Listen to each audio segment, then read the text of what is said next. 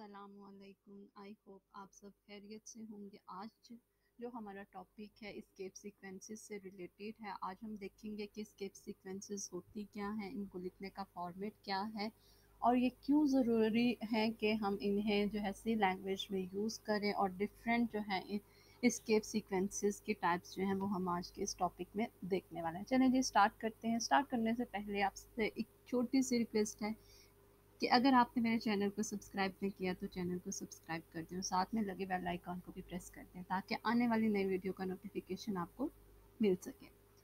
Start करते हैं जी अब। व्हाट आर स्केप सीक्वेंसेस क्या हैं? और different type discuss different escape sequences in C language ठीक है? स्केप सीक्वेंसेस की पहले डेफिनेशन देख लेते हैं, होती क्या escape sequences are special characters ठीक है? स्केप सीक्वेंसेस जो हैं, वो हमारे क्या होते हैं? स्पेशल करेक्टर्स होते हैं।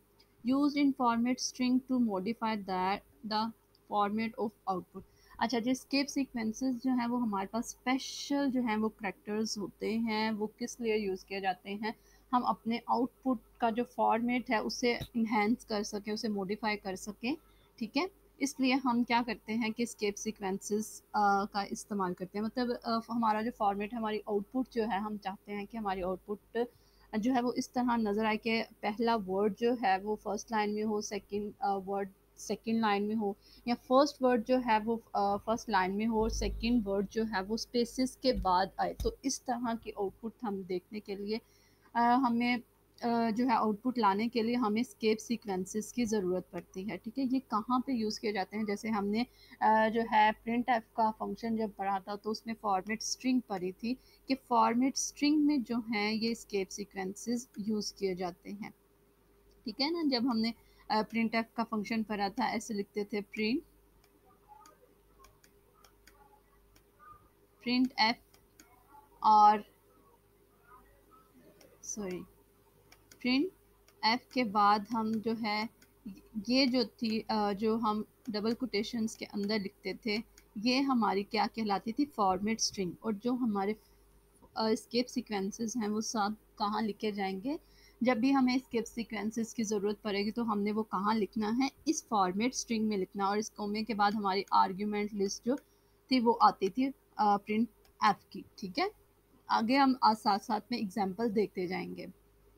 अच्छा जी these characters are not displayed in the output ठीक है? कह रहे हैं जो हम ये स्पेशल स्केप सीक्वेंसेस के लिए देखें, ये स्पेशल करेक्टर्स जो है ना, ये जो लिखे हुए हैं, ये यूज़ होते हैं, ये आपको स्क्रीन पर शो नहीं होते, ये जो काम करेंगे वो वो काम आपको शो होगा, लेकिन जैसे बैक स्लैश बी है तो ये आपको आउटपुट में बैक स्लैश बी लिखा हुआ नज़र नहीं आएगा, जो इस बैक स्लैश बी का पर्पज़ है कि इसने काम क्या करना है, वो हुआ नज़र आएगा आपको, ठीक है? These characters always being with back slash ठीक है? हमारे जो uh, सारे जो करेक्टर्स हैं स्पेशल करेक्टर्स जो इसके सीक्वेंसेस में यूज़ होते हैं uh, उन वो स्टार्ट कहाँ से होते हैं? जी बैक स्लैश से। देख लें ये सारे के सारे करेक्टर्स जो हैं वो किसके साथ स्टार्ट हो रहे हैं? बैक स्लैश के साथ ठीक है? The back slash is known as escape character ठीक है? ये बैक स्लैश को हम स्केप करेक्टर भी बोलते हैं। Different escape sequences used in C language are ये जो हैं कुछ स्केप सीक्वेंसेस जो हैं वो हमारे सी लैंग्वेज में यूज़ होते हैं। पहला है क्या जी बैक स्लैश बी है जो बैक स्पेस के लिए यूज़ होता है। ये सारी डिटेल में जो है वो हम आगे देखने वाले हैं। ठीक है, ये बैक स्लैश एफ़ है एन है बैक स्लैश आर है बैक स्लैश टी है बैक स्लैश ये कोमा है। ठीक है सिंगल कोटेशन है, ये डबल कोटेशन है एक्स डबल डी है ट्रिपल डी है। ये किस लिए यूज़ होता है? ये सब कुछ आज के इस टॉपिक में हम देखने वाले हैं। हर जो स्केप सीक्वेंस को हम डिटेल से डिस्कस करेंगे। अच्छा जी बैक स्लैश बी किस लिए यूज़ किया जाता है?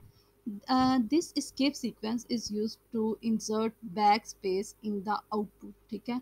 हमने जी बैक स्पेस जाना है मतलब हमने कोई वर्ड लिखा है तो हम अगर बैक स्लैश बी लगाएँगे तो हमारी क्या होगी? एक स्पेस पीछे चला जाएगा बैक में चला जाएगा। In the output. An example of example से आपको ज़्यादा अच्छे समझ आएगी ये देखें।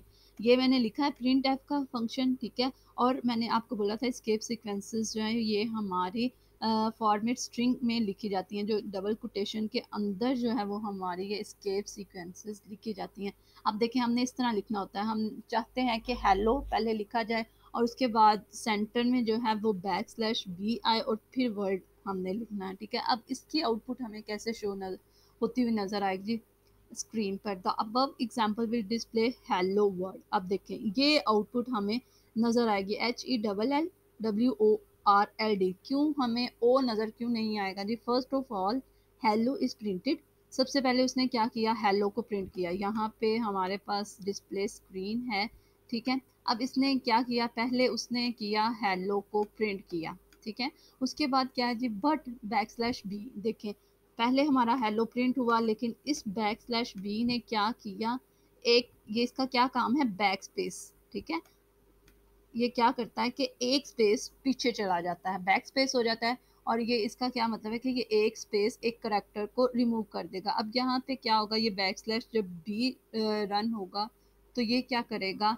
एक स्पेस पीछे चला जाएगा और एक करेक्टर को रिमूव कर देगा, ठीक है? बैक स्लैश बी का काम है। उसके बाद क्या करेगा जी? डिलीट्स द लेटर ओ उसने बैक स्लैश बी ने क्या कर दिया? एक करेक्टर पीछे गया, उसने ओ को डिलीट कर दिया। देन वर्ल्ड इज़ प्रिंटेड फिर उसके बाद, इसके बाद क्या हमारा लिखा जाएगा?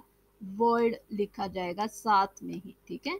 ये हमारा साथ में ही जो है वो वर्ल्ड लिखा जाएगा is printed so hello h e W hell world is displayed on the screen ठीक है? बैक स्लैश का बी जो है वो आपको पता चल गया किस लिए यूज़ होता है। हमने अपने आंसर में, हमने अपने आउटपुट में कोई चीज़ बैक स्पेस पे लानी है मतलब कोई वर्ड मूव करना है तो हम क्या कर सकते हैं? बैक स्लैश बी का यूज़ कर सकते हैं, ठीक है? उसके बाद क्या है जी? बैक स्लैश एफ़ हमारा सेकंड जो है स्केप सीक्वेंसेस वो क्या है? बैक स्लैश एफ़ ये क्या काम करता है जी? This escape sequence is use to insert a blank paper in the printed output अब ये क्या करता है बैक स्लैश एफ़ क्या करता है, ये ब्लैंक पेपर छोड़ देता है। जब हम, जब भी हम अपना escape sequence back slash f use करेंगे तो ये क्या करेगा कि हमें जब भी आउटपुट नज़र आएगी तो ये क्या करेगा, एक ब्लैंक पेपर जो है वो छोड़ देगा। कैसे छोड़ेगा जी? It is called form feed ठीक है? इसको हम फॉर्म फ़ील्ड फ़ीड भी बोलते हैं। An example of this escape sequence is अब देखें, हमारे पास एग्ज़ाम्पल क्या है? ये मैंने आपको बताया ना कि स्केप सीक्वेंसेस जो हैं, वो हमेशा हमारे प्रिंट एफ़ फ़ंक्शन में यूज़ होते हैं फॉर्मेट स्ट्रिंग के अंदर, ठीक है? ये डबल कोटेशन के अंदर यूज़ होते हैं। अगर आप कहीं पे बाहर back slash f back slash d कुछ भी लिखेंगे तो उसका कोई भी पर्पज़ नहीं होगा, वो एरर देगा, ठीक है? आपने जब भी स्केप सीक्वेंसेस को यूज़ करना है, आपने प्रिंट एफ़ के फॉर्मेट स्ट्रिंग के अंदर यूज़ करना है, ठीक है? अब क्या है जी इसकी क्या एग्ज़ाम्पल अब क्या है बैक स्लैश एफ़ ये हमें आउटपुट कैसे शो कर करवाएगा? पहले लिखा जी हमने double quotation printf function लिखा डबल कोटेशन स्टार्ट की हेलो लिखा बैक स्लैश एफ़ और वर्ड लिखा। The above example will display hello world ठीक है? हमें आ, क्या एग्ज़ाम्पल में नज़र आएगा? मतलब आउटपुट में क्या नज़र आएगी? हमें हेलो वर्ल्ड लिखा हुआ नज़र आएगा लेकिन कैसे लिखा हुआ नज़र आएगा? आफ्टर प्रिंटिंग हेलो पहले वो क्या करेगा? कि हेलो को प्रिंट करेगा, उसके बाद बैक स्लैश एफ़ का काम स्टार्ट होगा। The computer will include a blank paper and then print the remaining output अब क्या करेगा कि उसने हमारे पास इस तरह आउटपुट आएगी। सबसे पहले उसने क्या हेलो प्रिंट किया, ठीक है? ये आ गया हेलो आपको स्क्रीन पर शो हो रहा है। उसके बाद बैक स्लैश ऐप का क्या काम है कि वो एक ब्लैंक पेपर छोड़ देता है। उसके बाद नेक्स्ट पेज पे जाके इसने पेपर को ब्लैंक छोड़ दिया। नेक्स्ट पेज के फ़र्स्ट में जाके ये क्या प्रिंट करवाएगा? वर्ड ठीक है? इसके बाद ये नेक्स्ट पेज के फ़र्स्ट में जाके क्या प्रिंट करवा देगा? वर्ड जो है वो प्रिंट करवा देगा। अब ये देखिए the computer will include a blank paper इसने क्या ब्लैंक पेपर को इंक्लूड किया and then print the remaining output it is you dues during printing ठीक है? और बाकी की जो रिमेनिंग आउटपुट रह गई है, उसने वो प्रिंट करवा देनी है एक ब्लैंक पेपर छोड़ने के बाद, ठीक है? बैक स्लैश ऐप का आपको पता चल गया कि ये क्या करता है? एक ब्लैंक पेपर छोड़ देता है अपनी आउटपुट में। उसके बाद क्या है सिर्फ़? Back slash n back slash n क्या काम करता है? जी, हमारा this escape sequence is use to insert new line in output अच्छा बैक स्लैश एन का क्या काम है कि ये न्यू लाइन को इंसर्ट करवाता है? जैसे बैक स्लैश एफ़ था, वो ब्लैंक पेपर को जो है, वो इंक्लूड करवाता था इंसर्ट करवाता था और जबकि हमारे पास बैक स्लैश जो था फ़र्स्ट वाला बैक स्लैश बी था, वो बैक स्पेस को जो है मतलब एक स्पेस पीछे चला जाता था, एक करेक्टर को रिमूव करवा देता था, ठीक है? अब बैक स्लैश एन का क्या काम है? This escape sequence is use to insert new line ठीक है?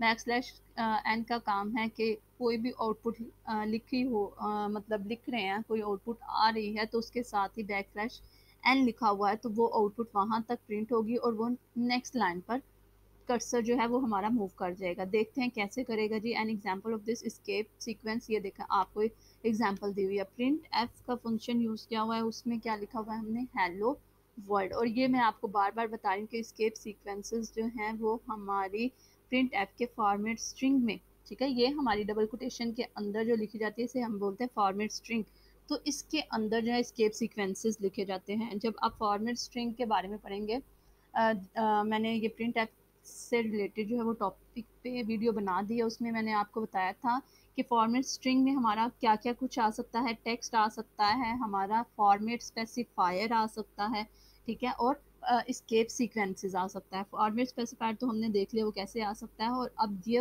इस एग्जांपल्स में हम देख रहे हैं कि स्केप सीक्वेंसेस कैसे आ सकता है हमारा फॉर्मेट स्ट्रिंग में, ठीक है? अब देखेंगे क्या होगा कि हमने ये लिख दिया हेलो बैक स्लैश एन और वर्ल्ड लिख दिया। The above example will display hello in the one line अब क्या है, हमें स्क्रीन पर कैसे शो होगा, ये हमारी स्क्रीन है, ठीक है? अब पहले जी हमें क्या शो होगा हेलो ठीक है? पहले हमें क्या शो हुआ हेलो अब ये बैक स्लैश एन का काम है कि हमारा कर्सर यहाँ पे था। अब ये क्या करेगा? नेक्स्ट लाइन पर मूव कर जाएगा। ये नेक्स्ट लाइन आ गई। इस लाइन को पूरा एम्पटी छोड़ देगा और नेक्स्ट लाइन पर मूव कर जाएगा बैक स्लैश एन से जो है ये काम होगा। ठीक है? और वर्ड जो है वो हमारा नेक्स्ट लाइन पर लिखा हुआ नज़र आएगा। ठीक है? ये अब यहाँ पर क्या लिखा हुआ नज़र आएगा? वर्ड अगर आपने कोई भी आउटपुट एक वर्ड एक लाइन में प्रिंट करवाना है दूसरा वर्ड दूसरी लाइन में तो आपने क्या करना है? आपने बैक स्लैश एन का जो है वो काम आ, उसको यूज़ करना है ठीक है? ये देख लें। अब आपकी आउटपुट कुछ इस तरह से नज़र आएगी। एलो जो है वो फ़र्स्ट लाइन में होगा और बैक स्लैश एन जो है वो आ, उस वो क्या करेगा? नेक्स्ट लाइन पर कर्सर चला जाएगा। उसके बाद जो भी आउटपुट आएगी वो नेक्स्ट लाइन पर प्रिंट होगी, ठीक है? ये देख लें अब। Hello in one line and world in the next line first of all first of all hello is printed and back slash and move a cursor to next line ठीक है? जो मैंने आपको बात बता दी दैन वर्ड इज़ प्रिंटेड उसके बाद क्या है? बैक स्लैश आर क्या काम करता है? This escape sequence is use to move the cursor at the beginning of the current line अब ये क्या करता है? हमारे कर्सर को स्टार्ट उस लाइन के स्टार्ट में ले आता है। ये देखें ये हमारे पास क्या है? ये हमारी स्क्रीन है। ये क्या करेगा? अब हमारा कर्सर यहाँ पे था। कोई आउटपुट यहाँ पे लिखी हुई थी, ठीक है? फॉर एग्जांपल यहाँ पे अब हमारा, यहाँ पे कुछ भी लिखा हुआ है आउटपुट में। कर्सर हमारा यहाँ पे है। और उसके बाद हमारी, हम क्या यूज़ करते हैं? बैक स्लैश एन यूज़ करते हैं। तो बैक स्लैश एन क्या करेगा? इस सा, इस जो भी पहले से आउटपुट लिखी हुई थी, उस सबको रिमूव करके कर्सर को कहाँ ले आएगा? बिगनिंग में, ठीक है? लाइन के बिगनिंग में जो है वो कर्सर को ले आएगा। कर्सर को यहाँ पे स्टार्ट में बिगनिंग का मतलब है कि लाइन के स्टार्ट में ले आएगा, ठीक है? करंट लाइन का मतलब है कि जहाँ पर आपकी आउटपुट लिखी हुई नज़र आ रही है और आपका कर्सर मूव कर रहा है ब्लिंक कर रहा है, वो हमारी क्या होती है? करंट लाइन होती है। और वो क्या करेगा? पहले से सारी लिखी हुई जो भी टेक्स्ट है उसको रिमूव कर देगा और कर्सर को क्या कर देगा? लाइन के शुरू में स्टार्टिंग में बिगनिंग में ले आएगा, ठीक है? बैक स्लैश आर का जो है ये काम है। It is known as carriage return इसको जी हम कैरिज रिटर्न भी बोलते हैं।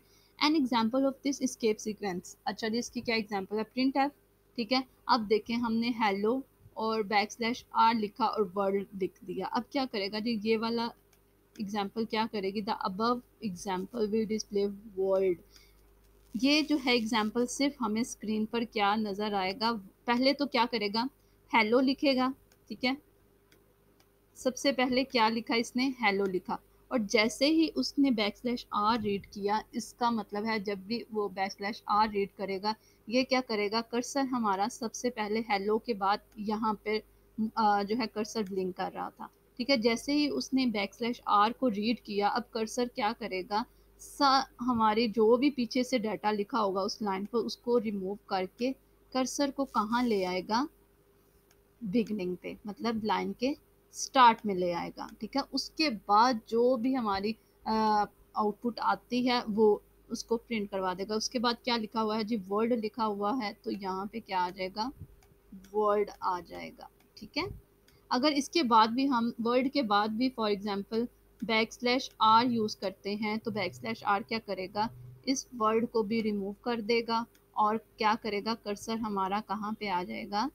लाइन के स्टार्ट में आ जाएगा, ठीक है? फिर हमें कोई आउटपुट नहीं मिलेगी क्योंकि हमने वो सारा जो है रिमूव करवा दिया है। देख लें। First of all hello is printed पहले हमारा हेलो प्रिंट हुआ था, फिर आर मूव किया, ठीक है? ये वो सारी बातें हैं जो मैं अभी आपको ऊपर बता के आई हूँ।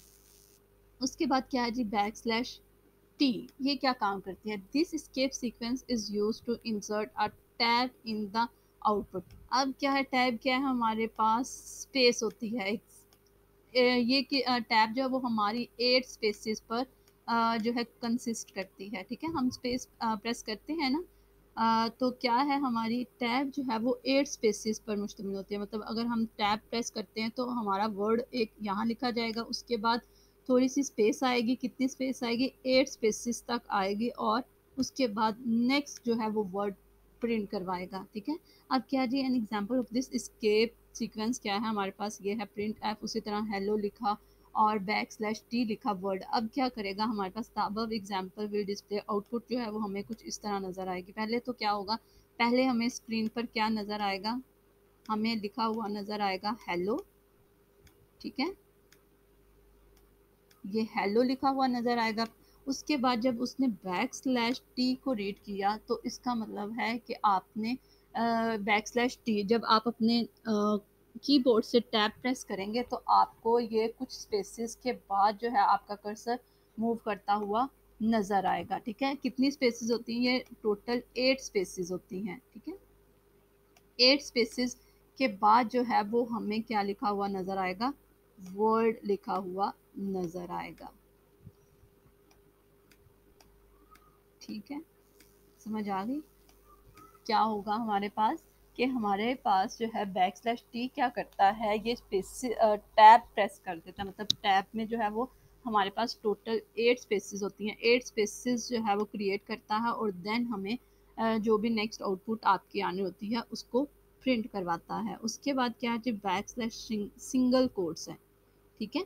ये क्या है single quote this escape sequence is use to display single quotes हमने अगर कोई भी आउटपुट में सिंगल कोड्स लगानी है तो हमने क्या करना है, इस तरह बैक स्लैश सिंगल कोट्स लिखेंगे देन हमारे कोई भी आउटपुट पर सिंगल कोट्स आएँगे। In the output an example of अब देखें प्रिंट एफ़ हमने ये हमारी क्या है, इस ये हमारी फॉर्मेट स्ट्रिंग थी ना? तो इसके अंदर डबल कोटेशन तो वैसे ही हमने, डब, हर चीज़ जो है वो हमारी डबल कोटेशन के अंदर लिखी जाएगी, ठीक है? अब देखें, हमें जी चाहिए हेलो वर्ड के लास्ट फ़र्स्ट और लास्ट में जो है वो सिंगल कोट्स चाहिए। तो हमने क्या किया? बैक स्लैश सिंगल कोट्स लगाई हेलो लिखा और लास्ट में भी बैक स्लैश सिंगल कोट्स लगाई। अब इसकी आउटपुट देख लें। आपको आउटपुट कुछ इस तरह से नज़र आएगी, ठीक है? आपको जब भी सिंगल कोट्स चाहिए तो आपने वर्ड आपने अपनी लाइन के टेक्स्ट के फ़र्स्ट में और लास्ट में जो है वो सिंगल कोट्स इस तरह लगानी है बैक स्लैश के साथ। इसी तरह जब हमें डबल कोटेशंस चाहिए तो हम क्या करेंगे? डबल कोड्स लगा देंगे। This escape sequence is use to display double quotes ठीक है? देखें अगर हमें इस तरह की आउटपुट चाहिए तो हम क्या करेंगे? अपने प्रिंट ऐप के फ़ंक्शन में जो है, इस तरह ये पहले डबल कोटेशन के अंदर हमने बैक स्लैश डबल कोट्स लगाएँगे और फिर हेलो वर्ड के लास्ट में डबल कोट्स को बंद कर देंगे, ठीक है? इस तरह के अगर आप आउटपुट चाहते हैं तो आपको बैक स्लैश डबल कोटेशन लगानी पड़ेंगी। इसके बाद क्या है जी, हमारे पास बैक स्लैश है ये। ये वाली अब this escape sequence is use to display back slash in the output अब आप चाहते हैं कि आपकी जो आउटपुट है उसमें बैक स्लैश जो है वो आपको शो हो, ठीक है? आपके आउटपुट में बैक स्लैश भी आए। तो आपने क्या करना है, जब भी आपको बैक स्लैश की ज़रूरत होगी तो आपने ये वाली अपनी आउटपुट में इसको यूज़ करना है। जब भी प्रिंट एफ़ फ़ंक्शन में फॉर्मेट स्ट्रिंग लिख के सी डॉट बैक स्लैश चाहिए, एक स्लैश चाहिए तो आपको इस तरह डबल स्लैश लगाने पड़ेंगे। देन आपकी ये सिंगल जो है वो बैक स्लैश आएगी, ठीक है? ये आपको स्केप सीक्वेंसेस की सब वर्किंग का पता होना चाहिए, और ये शॉर्ट क्वेश्चन के लिए जो है वो शॉर्ट क्वेश्चन में आ सकता है कि आपसे पूछ सकते हैं बैक स्लैश एंड क्या काम करता है, या स्केप सीक्वेंसेस कौन कौन से हैं? तो इस तरह का जो है वो शॉर्ट क्वेश्चन आपको आ सकता है। एक हम प्रोग्राम भी करके देख लेते हैं। ये देखें अब क्या है हमारे पास write a program display the following output in using single printf statement ठीक है वो कह रहे हैं कि हमें ये वाली आउटपुट चाहिए। लेकिन आपने किसमें सिंगल प्रिंट ऑफ़ फ़ंक्शन के ज़रिए जो है वो आपने इसको आ, बनाना है। ठीक है ये आगे इस तरह की आप फॉर लूप में भी यूज़ करेंगे कि आपको फॉर लूप में भी दिया होगा कि आपने ये जो है ये आउटपुट लानी है, लेकिन यूजिंग फॉर लूप इसमें इन्होंने क्या बोला कि मतलब एक सिंगल प्रिंट ऐप के फ़ंक्शन यूज़ करके तो आपने क्या करना है, अपनी इस आउटपुट को शो करवाना है। जैसे कि हमें पता है कि हमारा प्रोग्राम जब भी स्टार्ट होता है प्री प्रोसेसर डायरेक्टिव हम उस जो है लिखते हैं, ठीक है? और हेडर फाइल्स को इंक्लूड करवाते हैं, ठीक है? अगर आपको इसका नहीं पता प्री प्रोसेसर डायरेक्टिव क्या है तो इसका लेक्चर जो है आपकी प्ले लिस्ट में होगा, आप वहाँ से देख सकते हैं देन आप इस लेक्चर को भी सुन लीजिएगा। सबसे पहले हमें पता है कि हमारे प्रोग्राम का स्ट्रक्चर जो है वो क्या है। सबसे पहले हमने प्री प्रोसेसर डायरेक्टिव्स जो हैं वो लिखनी होती हैं। हैश इंक्लूड और हेडर फाइल्स को इंक्लूड करवाना होता है। हेडर फाइल्स को क्यों इंक्लूड करवाना होता है? ये जो c l r s clear screen get c h और प्रिंट ऐप का ये जो भी इनपुट आउटपुट से रिलेटेड फ़ंक्शंस हैं उनसे रिलेटेड सारी की सारी डेफिनेशन के उन्होंने कैसे काम करना है ये प्रिंट ऐप का क्या मकसद है, इस इस वर्ड का क्या मतलब है, ये सब कुछ जो है वो इन फाइल्स में लिखा हुआ है। अगर हम ये फाइल्स इंक्लूड नहीं करते हेडर फाइल्स इंक्लूड नहीं करते S T D I O dot h और कोनियो डॉट एच इंक्लूड नहीं करते तो ये हमारा printf clear screen c h function जो है वो नहीं चलेगा कंपाइलर एरर दे देगा, कहेगा कि ये प्रिंट ऐप का क्या मतलब है, ये वर्ड क्यों लिखा है, ठीक है? अब क्या है जी, हमने वही मेन फ़ंक्शन लिखा वाइड में, उसके बाद हमने, मैंने आपको बताया हुआ ये clear screen get c h जो है, ये हमने हर प्रोग्राम में मस्त लिखना होता है। क्लियर स्क्रीन क्यों लिखा है? कि हमारी जो भी आउटपुट पहले से लिखी हुई है, ठीक है? जो भी हमारी आउटपुट स्क्रीन पर पहले से लिखी हुई है सारी रेज हो जाए, ख़त्म हो जाए और हमें न्यू आउटपुट जो है, वो शो हो। ये ना हो कि पहली जो भी पहले से प्रोग्राम को एग्जीक्यूट हुआ था तो उसकी भी आउटपुट है। तो हमें समझ नहीं आती कि हमारी आउटपुट कौन सी है, इसलिए हम क्लियर स्क्रीन लिख देते हैं कि पहले से जितनी भी स्क्रीन पर आउटपुट लिखी हुई है, वो क्या हो जाए रिमूव हो जाए। उसके बाद उन्होंने कहा सिंगल प्रिंट ऑफ़ के फ़ंक्शन को यूज़ करते हुए स्टेटमेंट को यूज़ करते हुए आपने ये लिखना अब देखें, सबसे पहले, पहली लाइन में क्या है स्टार आएगा। तो हमारा प्रिंट ऑफ़ फ़ंक्शन कैसे जी, कैसे लिखा जाएगा, देख लेते हैं। बहुत ईजी है। ये देखें, हमने प्रिंट एफ़ का फ़ंक्शन लिखा, उसके बाद आपको मैंने बताया हुआ कि ये डबल कोटेशंस के अंदर ही आपने जो है वो लिखना होता है फॉर्मेट स्ट्रिंग को, ठीक है? अब देखिए पहले क्या है स्टार है फ़र्स्ट वाली लाइन में तो हमने स्टार वैसे ही लिख दिया, ये ये जो है ये आपके डबल कोटेशंस हैं, ये वाली, ठीक है? पहले स्टार लिखा, उसके बाद देखें स्टार लिखने के बाद प्रिंट होने के बाद वो नेक्स्ट लाइन पर जो है वो हमारे पास टू स्टार्स आ रहे हैं। तो नेक्स्ट लाइन पर जाने के लिए हमने स्केप सीक्वेंसेस देखा। कौन सा था?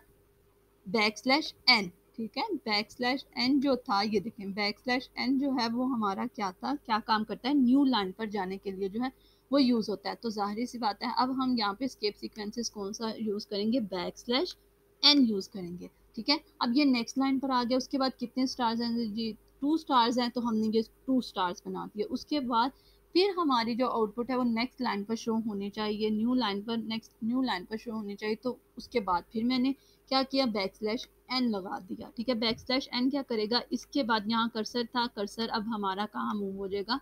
इस लाइन पर मूव हो जाएगा। इसके बाद कितने स्टार स्टार्स हैं जी one two three three stars हैं।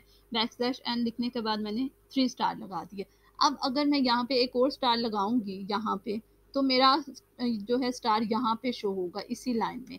लेकिन मुझे तो इस लाइन में नहीं चाहिए। मुझे अब नेक्स्ट लाइन में जो है वो चार स्टार चाहिए। तो अब मैं क्या करूँगी? नेक्स्ट लाइन पर जाने के लिए मेरे पास स्केप सीक्वेंस कौन सा यूज़ किया जाता है? बैक स्लैश एन ये आपको याद होने चाहिए बैक स्लैश एन किस लिए यूज़ होता है? बैक स्लैश टी किस लिए यूज़ होता है? बैक स्लैश आर किस लिए यूज़ होता है?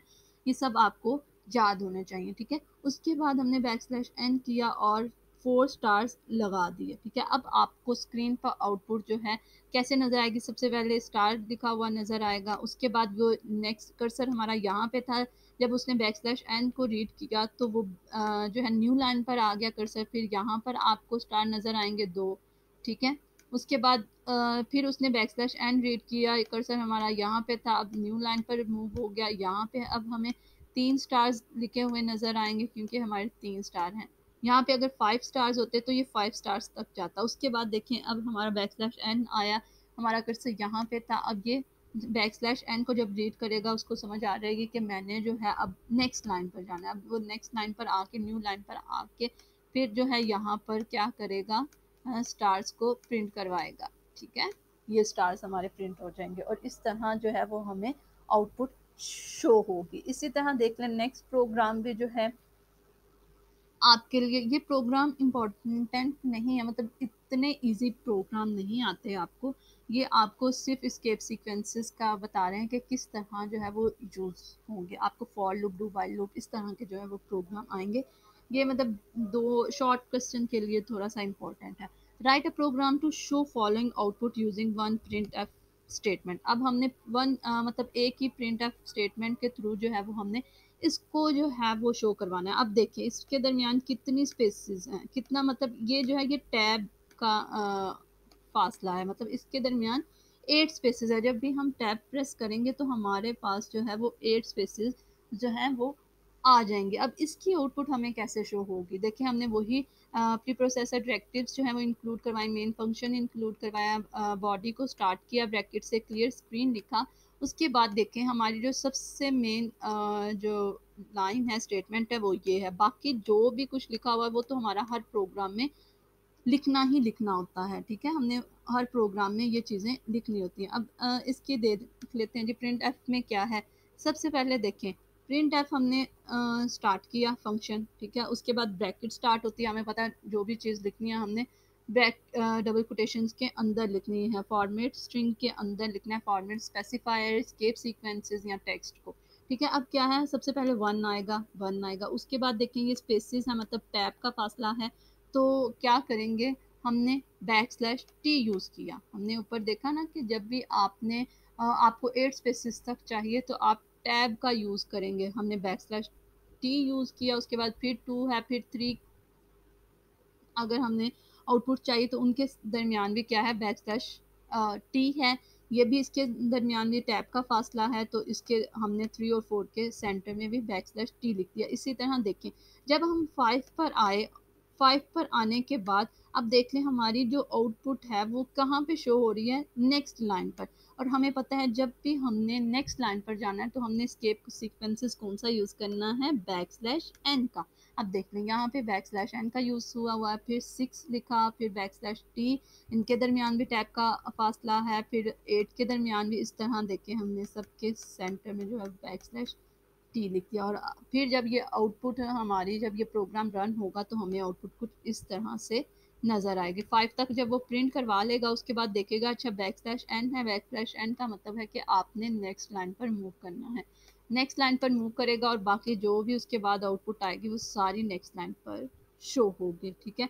इसके बाद एक और है प्रोग्राम ये भी टैब वाला ही है कि हमने इस तरह आउटपुट शो करवानी है तो एक ही हमने जी प्रिंट फ़ंक्शन यूज़ करवाना है, ठीक है? प्रिंट ऐप का फ़ंक्शन यूज़ करवाना है। अब देख लें इसके दरमियान भी कितना फासला है एट स्पेसिस का मतलब टैप का फासला है तो हम पहले पाकिस्तान लिखेंगे प्रिंट एफ़ के फ़ंक्शन में, पहले पाकिस्तान डबल कोटेशन के अंदर, पहले पाकिस्तान लिखा फिर हमें पता है जी एट स्पेसिस का फासला है मतलब एट स्पेसिस हमें यूज़ करवानी है इतनी तो इसका मतलब है कि हमने बैक स्लैश टी का यूज़ करना है मतलब टैब का यूज़ करना है। फिर इस लिखना है, फिर देखें, अब कंट्री के बाद हमारी जो नेक्स्ट लाइन है, इस्लामाबाद जो लिखा हुआ है, वो नेक्स्ट लाइन पर लिखा हुआ है। तो हमें पता है, जब भी हमने नेक्स्ट लाइन पर मूव करना है तो हमने कौन सा स्केप सीक्वेंसेस यूज़ करना है बैक स्लैश एन को यूज़ किया, और उसके बाद फिर बाकी हमने सारी आउटपुट लिखी। इस्लामाबाद के बाद हमने बैक स्लैश टी लिखा, फिर इस लिखा इस तरह से जो है वो हमारा। बाकी तो आपको पता है ये प्री प्रोसेसर डायरेक्टिव लिखने होते हैं, ये मेन फ़ंक्शन ये तो हर प्रोग्राम में हमने मस्ट लिखना होता है, ठीक है? अगर इस टॉपिक में आपको किसी बात की समझ ना आई हो, आप कमेंट सेक्शन में पूछ लीजिएगा, दुआओं में याद रखिएगा। अल्लाह